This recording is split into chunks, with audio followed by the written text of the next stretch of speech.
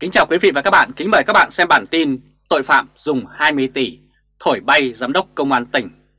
Ông Tô đã tự cung sau bao nhiêu năm rèn võ.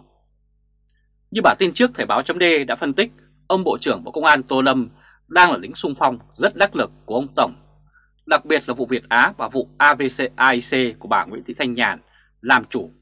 Tuy nhiên, dưới đánh giá có người nhận xét rằng không hay về ông Tô Lâm.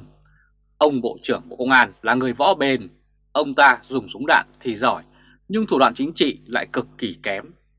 Ông Tô Lâm là mẫu người tự xây rồi lại tự đạp đổ, nên đến nay đã 65 tuổi mà vẫn chưa vào được tứ trụ, dù ông là người lính mẫn cán cho ông Tổng Bí Thư. Nếu ông Tô Lâm bị quy vào hàng tội phạm vì sang nước bắt cóc vì mệnh lệnh ông Tổng, thì hành động há mồm đớp miếng thịt bò rất vàng tại anh là vô cùng dại dột. Hình ảnh này đã làm mạng dậy sóng và tất nhiên tới tai ông Tổng. Ông Tổng có muốn cất nhắc ông Tô Lâm vào tứ trụ thì cũng phải xem xét hình ảnh ông Bộ trưởng Bộ Công an trước công chúng ra sao. Đây hình ảnh hành động tự phá hoại thanh danh của ông Tô Lâm. Ông Tô Lâm là tướng võ bền.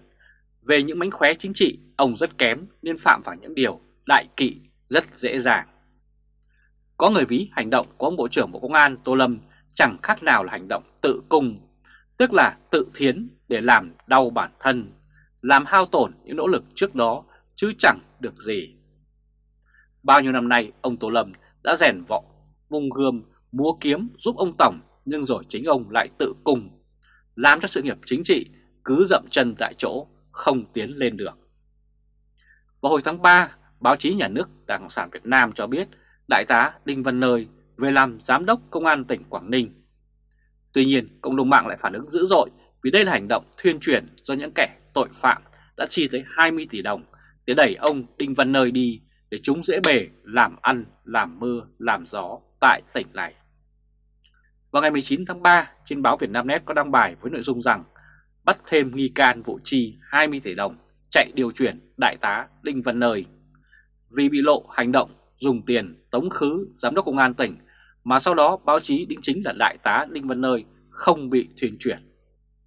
Tuy nhiên, đấy chỉ là hành động co vòi trước dư luận. 20 tỷ đồng đã chi cho việc tống khứ ông Đinh Văn Nơi khỏi An Giang là vấn đề thời gian trước hay sau mà thôi. Đây là hình ảnh tội phạm đã chi tới 20 tỷ đồng để tống cổ ông Đinh Văn Nơi đi nơi khác. Vào ngày 30 tháng 8, báo chí nhà nước Đảng Cộng sản Việt Nam lại đồng loạt đưa tin Đại tá Đinh Văn Nơi được điều động làm Giám đốc Công an tỉnh Quảng Ninh. Bộ Công an điều động bổ nhiệm Đại tá Lâm Phước Nguyên, Phó Giám đốc Công an tỉnh Hậu Giang đến giữ chức Giám đốc Công an tỉnh An Giang thay thế cho Đại tá Đinh Văn Nơi. Chiều ngày 30 tháng 8 tại Công an tỉnh An Giang, Thiếu tướng Lê Văn Tuyến, Thứ trưởng Bộ Công an đã trao quyết định của Bộ trưởng Bộ Công an về việc điều động chỉ định Đại tá Lâm Phước Nguyên, 51 tuổi, quê ở thành phố Cần Thơ, Phó Giám đốc Công an tỉnh Hậu Giang, giữ chức Giám đốc Công an tỉnh An Giang kể từ ngày 1 tháng 9.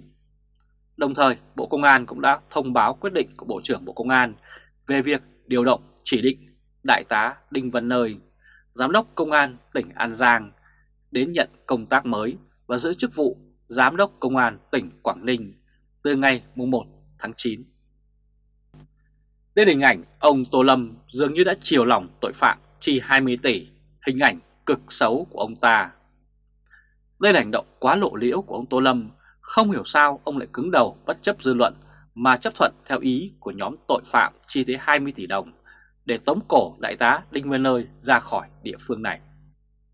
Điều này làm cho nhiều người nghi ngờ là ông Tô Lâm có ăn chia với nhóm tội phạm. Không biết thật hư như thế nào, nhưng việc thuyên chuyển này của Bộ Công an đã dấy lên nghi ngờ ông Bộ trưởng Bộ Công an ăn hối lộ. Quả thật có người nói ông Bộ trưởng Tô Lâm rất giỏi trong vấn đề nỗ lực thật nhiều phá các vụ án mất bao công lao cũng rất nhiều. Xem ra ông tướng Tô Lâm rất thích tự cung vì đây là hành động làm tự tổn thương bản thân như thế. Nếu cứ đà này thì ông Tô Lâm khó có thể vào được tứ trụ. Kính chào quý vị và các bạn, kính mời các bạn xem bản tin khi quyền Bộ trưởng quần xong tới lượt ông chính quần lại, bà Lan bị ông Thủ trói tay. Như tờ Thể báo chấm đã phân tích, những ngày qua bà quyền Bộ trưởng Bộ Y tế Đào Hồng Lan đã dùng truyền thông gái ông Thủ tướng phải vào cuộc để giải quyết hàng tá rắc rối từ thời ông Bộ trưởng cũ Nguyễn Thành Long để lại. Có nhiều vấn đề dù chỉ đạo liên ngành cũng khó gỡ rối được bởi còn rất nhiều vướng mắc về mặt pháp lý. Những văn bản dưới luật như nghị định, thông tư, vân vân đã đưa ông Phạm Minh Chính vào một vòng xoáy rắc rối khó giải quyết. Sai phạm ở Bộ Y tế là vấn đề nan giải thực sự. Rất nhiều đời Bộ trưởng để lại đống đổ rác này và gặp rắc rối vì nó. Có người nói nếu thế và lực bà Nguyễn Thị Kim Tiến không vững thì số phận của bà Tiến không khác gì số phận của ông Nguyễn Thành Long hiện nay đó là ngồi bóc lịch. Cho nên khó nói đến số phận của bà quyền Bộ trưởng Bộ Y tế sẽ ra sao trong thời gian tới. Đây là hình ảnh quyền Bộ trưởng Bộ Y tế Đào Hồng Lan. Việc ném hết khó khăn cho sếp là cách làm vừa khôn lại vừa dại.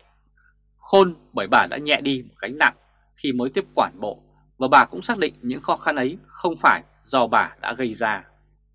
Tuy nhiên, việc gì cũng vừa phải, nếu chất quá nặng trách nhiệm lên ông Thủ tướng thì người ta sẽ đặt câu hỏi là quyền và trách nhiệm của bà quyền Bộ trưởng đang ở đâu. Với lại ông Thủ tướng Phạm Minh Chính còn lo nhiều bộ khác, chỉ cần gánh phần cho bà quyền Bộ trưởng thì ông Thủ tướng đã toát mồ hôi vì quá nhiều vấn đề bủa vây. Nếu chất gánh nặng thêm lên vai ông Thủ tướng thì không khéo bà Đào Hồng Lan lại nhận phản ứng ngược của ông sếp. Đây là hình ảnh ông Thủ tướng Việt Nam Phạm Minh Chính. Để giải quyết khó khăn cho Bộ Y tế có hai vấn đề lớn, đấy chính là tháo gỡ vướng mắc cơ chế và phải cấp ngân sách cho thật nhiều. Nhiều năm qua, tình hình ở Bộ Y tế bi đát đến mức mua dao cùn để phẫu thuật, mua chỉ dởm để khâu vết thương.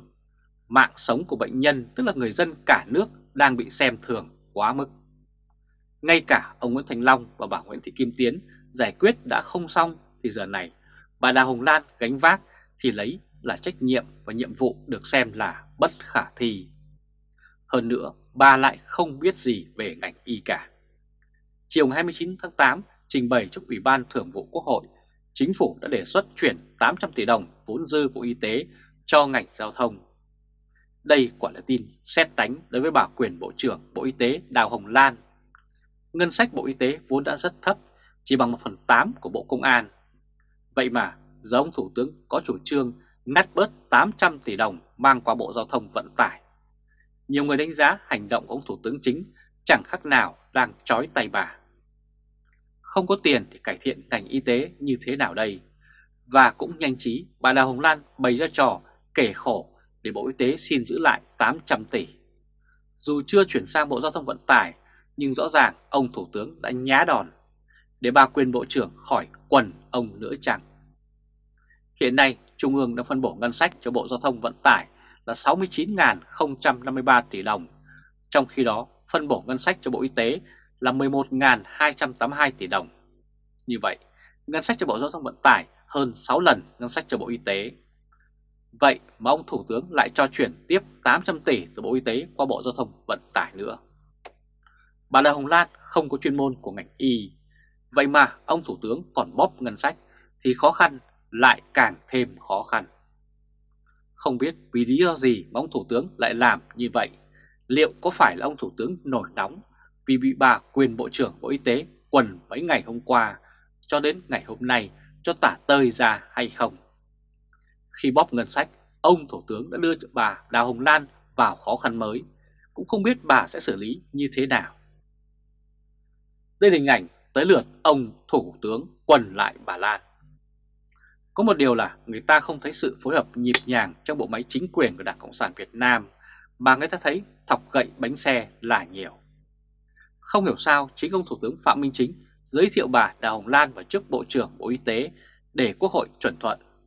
Mà giờ đây, ông lại làm cho bà quyền Bộ trưởng Bộ Y tế gặp một khó khăn khó giải quyết ngay từ đầu như thế.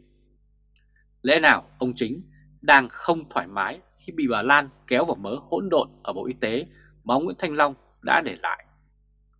Chỉ mới phối hợp với nhau chưa lâu mà bộ này đã có dấu hiệu dạn nứt với chính phủ, chờ xem.